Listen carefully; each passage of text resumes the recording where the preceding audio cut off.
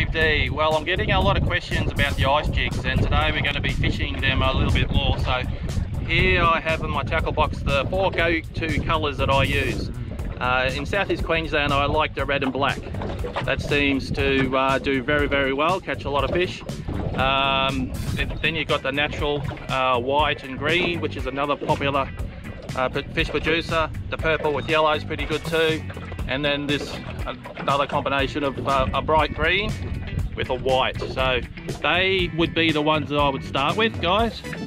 Hope you can see them there and uh, what you want to do is drop them down and hop them three times that'll complete a full circle so we're going to fish with these a bit today and we're going to try to show you how they work okay guys um, I use the bait casters for ice jigging uh, because it gives you direct contact with the bottom.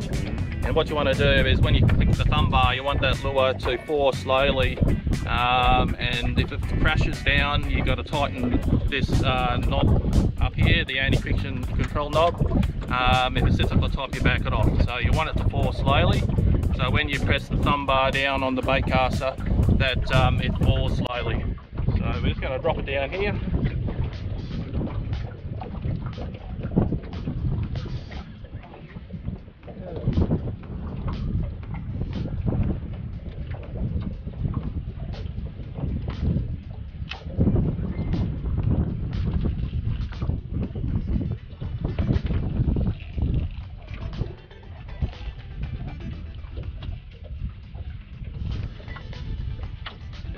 couple of uh, quick sharp jerks.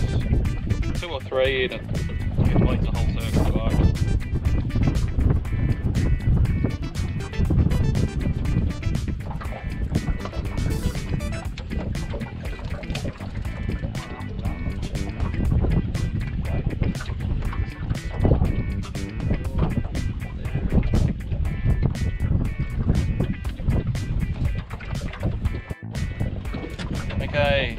Taking it on the hop. Right off the bottom, guys. You want these ice jigs right on the bottom.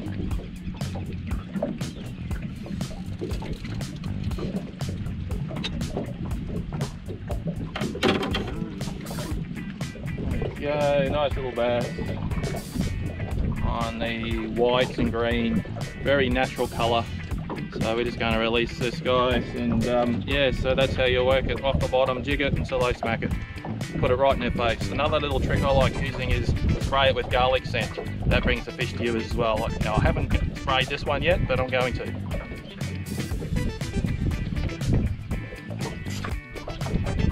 just have a look where he's hooked here that center wide gape hook has really done its job it's uh, once they set, uh, pretty much stays in there really well. So um, yeah, I like using those ones. They're really, really good. Here we go. So just a little, little tacker going back to grow it bigger.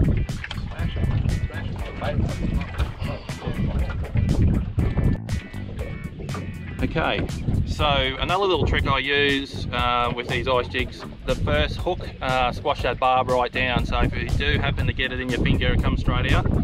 Um, a few months ago, I, I did a very rookie mistake and I wore this ice jig in my thumb and had to go to the doctor.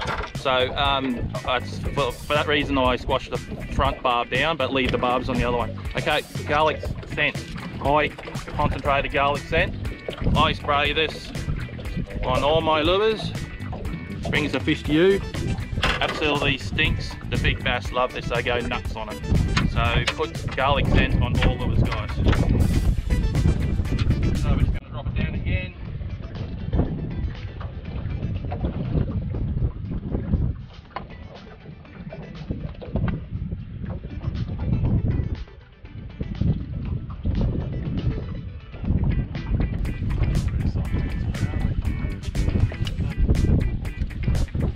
So the beauty about these bait casters, I just uh, click that thumb bar and I put it right on the bottom. As soon as it hit the bottom, uh, hook up.